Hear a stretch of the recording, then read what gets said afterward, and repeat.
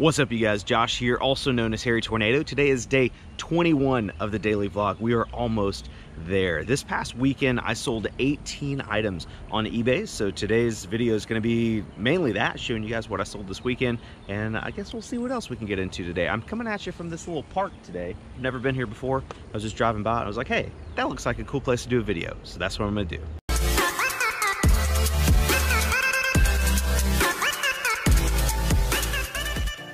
I sold this TI-84 Plus calculator. This is the one I picked up on Facebook Marketplace for $25. I listed it and it sold within about three days for $69.99 free shipping.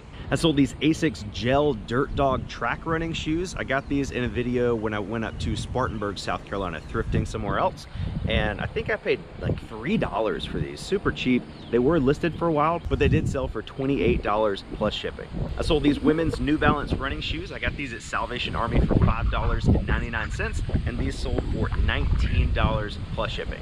I picked up this Speedo wetsuit probably seven or eight months ago at Goodwill for $9.99. I did not look up sold comps. I didn't know anything about wetsuits. I just thought it would be worth, you know, maybe 40 or 50 bucks or so, but I was mistaken. This sat in my store for a long, long time. I never got any offers on it. I finally sent out offers to watchers for $21 plus shipping and it sold this past weekend. So not a ton of profit. Probably will know better next time before I pick up another wetsuit.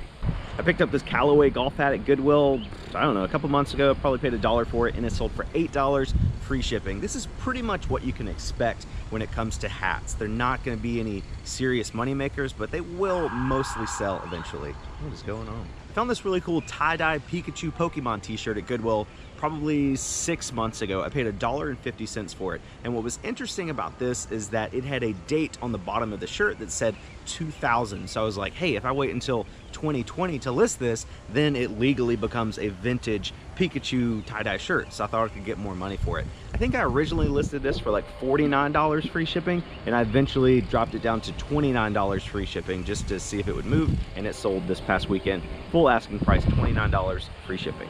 This is one of my Bluetooth speakers that I picked up at Ollie's Retail Arbitrage. I think these were either $14.99 or $15.99 each. I can't remember, but I bought four of them and my plan was to sell them for 50 bucks free shipping. One guy in the comments said that would never happen, and this is actually the second one that has sold for $50 free shipping. So really good profit margins on a retail arbitrage pickup.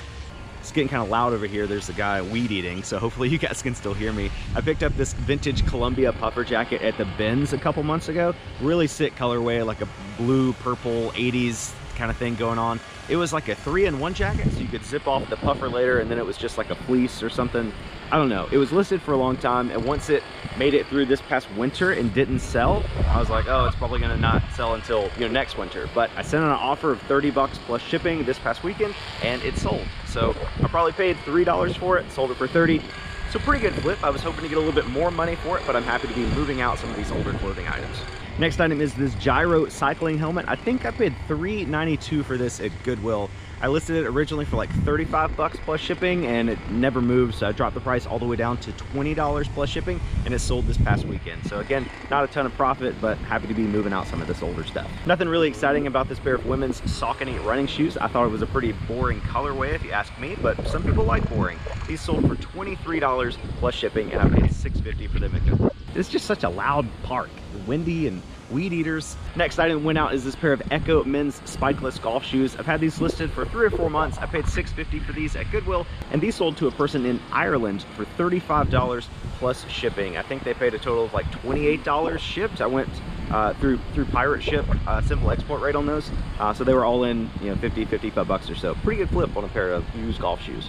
I picked up this pair of men's rainbow flip-flops at the bins a couple months ago. I paid probably two dollars for them and they sold for 17 dollars plus shipping. I picked up this vintage miami dolphins hat at goodwill seven or eight months ago. I've had it listed for a while and this sold to a viewer named remington for seven dollars plus shipping I sold this South Carolina Gamecocks hat to a viewer named Zach down in Charleston, South Carolina. Zach, thanks for your support. Zach paid $6 plus shipping for this hat, and I think I paid like 50 cents for it. So again, just happy to be moving out some of this older stuff. One of my recent puzzle runs to Walmart, I picked up two of these office-themed jigsaw puzzles. Both of them were pretty small, only 300 pieces each, so I did decide to lot them together in one you know, item on eBay, and I, I thought they were going to sell a little bit better than this. I sent out some offers to watchers for like 30, 35 bucks, nobody bid. So I dropped the price down to $25 plus shipping and they did sell. I had about eight, about $9 in each one. So not a ton of money to be made, but you know, when you're facing a situation like we're in right now, you guys you just gotta take risks sometimes and puzzles are a risk right now. They may sell, they may not. So it's really up to you and your risk tolerance on how much you want to invest in puzzles. I picked up this Victoria's Secret push-up bra at the bins probably four or five months ago. Paid about 50 cents for it, and this one sold for $15 plus shipping. Pretty good sale on a used bra. I picked up this Tumi backpack at Goodwill probably six months ago. I paid $4.92 for it. It was in great condition, other than the fact that it had two rips in it. So I didn't want to sell it as is because in that condition, I might have gotten, you know, 20 or 30 bucks or so. I have a neighbor friend of mine who is a professional seamstress. So I paid her $15, which is what she charged me to fix the, the, the cut on the strap that this bag had and like part of the seam where the zipper uh, went was coming apart. So she fixed both of those, made it look brand new for 15 bucks. So I had, I was all in about $20 on this bag and it sold for $75 plus shipping. The buyer was all in like $96 or so. The only thing I'm worried about is that this buyer is located in New York City. So I know I've heard from a lot of you guys that packages that are being sent to New York City are having a hard time getting there right now. So fingers crossed that this gets there on time and the buyer is happy with their purchase. And the last sale of this weekend is this New York Yankees flat bill baseball hat. I've had this listed forever, probably seven or eight months. I paid a dollar for it at Goodwill and it sold for $10 plus shipping. Sales have definitely slowed down a bit for me. Like when all this started, sales kind of tanked for everybody for the first week. But then once things kind of settled out, I think pretty much all resellers had like a huge influx of sales. Uh, and right now, because I'm not listing as much probably, is why my sales are a little bit down. I think, I don't know the exact numbers for this weekend, but I'll throw them up on the screen here. This is the total gross sales amount from this weekend, and our net profit should be about 50% of that. Um, so it was a decent weekend, especially because I haven't listed anything in a while. Uh, but I'm thinking, especially now that you know, I'm in South Carolina, South Carolina is opening up retail stores today. Um, so I'm thinking we might have to start listing stuff again, unfortunately. So I was on the way home and I decided to stop at this geocache that's on this side of the town. I went to go check my P.O. box today. Had a couple pieces of mail in there. I'll open those when I get home. But this one is a level three difficulty.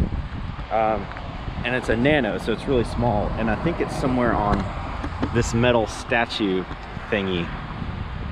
Uh, I mean, this is pretty much exactly where the, okay. This is pretty much exactly where the coordinates are, so I'm, I'm sure it's gotta be on here somewhere.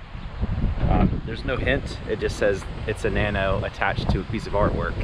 Uh, there's other metal artwork like over there and over there, but the exact coordinates is right here. So I'm pretty sure it's on here somewhere.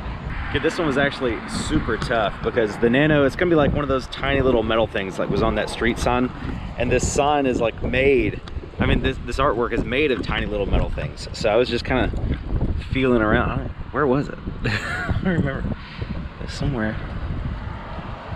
I just found it and now I don't even remember where it was. Okay, it's down at the bottom. It's right here. And there we go, found it. All right, so I signed the log, put it back, and we found it. Also, there's a bunch of construction workers over here, like in their trucks on their break, like that guy. And they're all like watching me, wondering what I was doing. But it's fine because that thing is tough to find. So even if they immediately go look at it, like when I leave, they're never gonna find it. And even if they do, they're not gonna know what it is. So a couple months ago, I went to the Goodwill bins and I found one white Vans shoe. Like I just could only find one of them. It was brand new condition, pure white. Uh, I mean, that's that's what it looked like there. Uh, I looked high and low for the pair for it and I couldn't find it. So I was like, you know, I've heard Rally Roots and other resellers talk about how you can sell one shoe to people that only need one shoe, amputees and, and things like that. So I took a chance on it. I think I paid like a dollar for it. It wasn't a big, big deal. And I've had this shoe listed for probably four months or so. And I have sold this shoe four times. And every time somebody buys it, before they actually pay for it, they send me a message asking me to cancel it because they didn't realize it was one shoe. Now, let me show you here. Uh, there's the picture. Okay, one shoe. Also the title, Vans White Canvas Casual Men's nine, women's 10.5, one shoe, all capital letters, left foot, amputee. And I reiterate all these facts in the description. I say, hey, this is one shoe. This the photo shows one shoe. The title says one shoe, all capital letters. The title also says left foot, amputee. And yet still people constantly buy this shoe thinking it's a pair and they never actually pay for it. And it happened again today. Somebody bought it.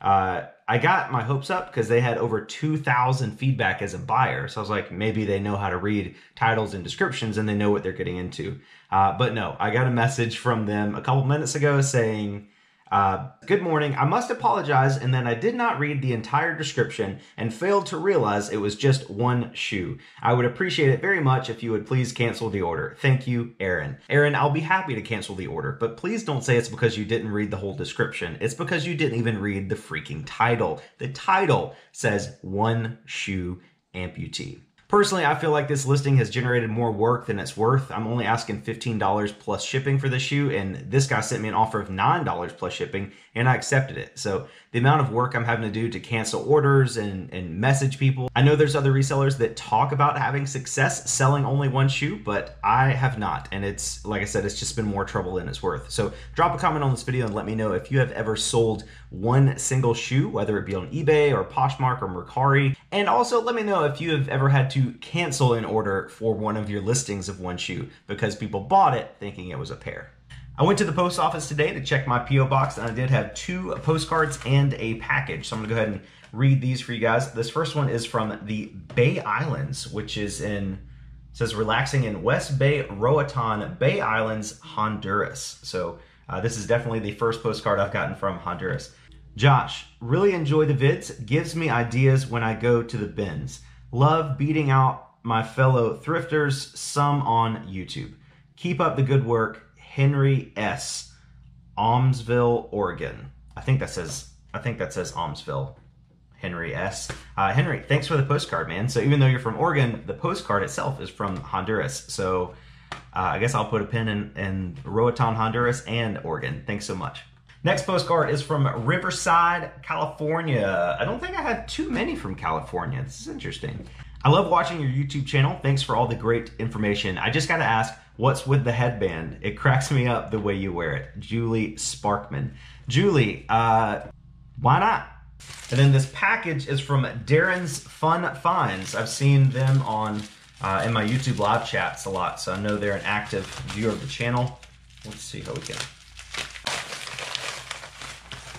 Here's a thank you card. Ooh, treasure hunt. That's fun. Life is a treasure hunt.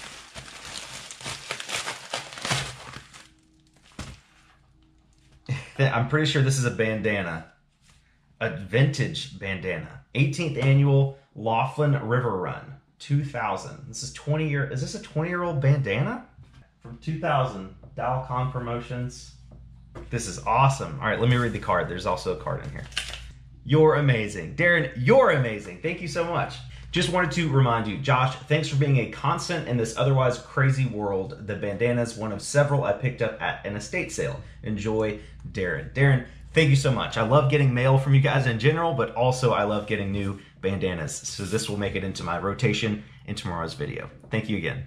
Oh, and Darren is from Santa Rosa, California, so I'll put a pin in Santa Rosa. As I said earlier in today's video, I'm probably gonna need to start listing some more stuff if I want my sales to maintain the current velocity that they've had over the last couple weeks. So I made this chart today, and so I'm gonna spin the wheel, and if it lands anywhere over here, I will list my death pile today. But if it lands down here, I'm gonna do trick shots and video games for the rest of the day. So let's give it a spin and see where it lands. Oh, it's going to be close. It's going to be very close. What is it going to land on? Oh man, this this is going forever. I'm so nervous.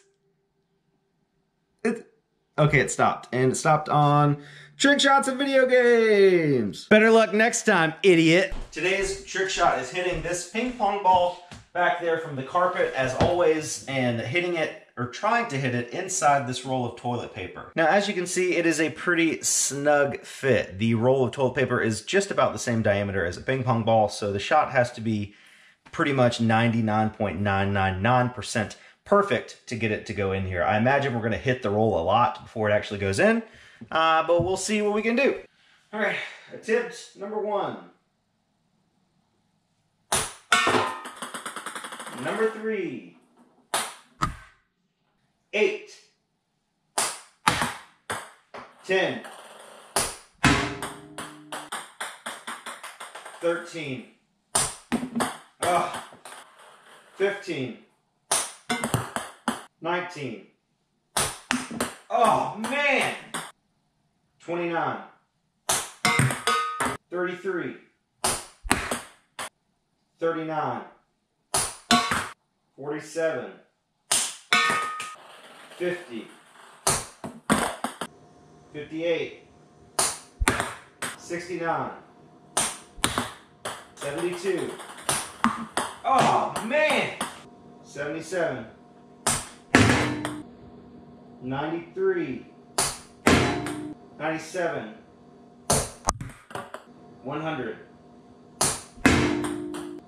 106. 109.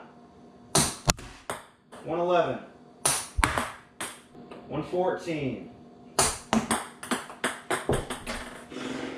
I hate to do this to you guys, but I think I'm gonna have to make this a multi-day trick shot challenge. I've tried 114 times. I'm getting super close, but I have a couple other things I need to get done before Haley gets home from work. So we will extend this challenge to tomorrow. I'll just keep trying this until I make it. I'm gonna make it. One day I'll make it. Thank you guys so much for watching. You're the best, and I'll catch you guys on the next one.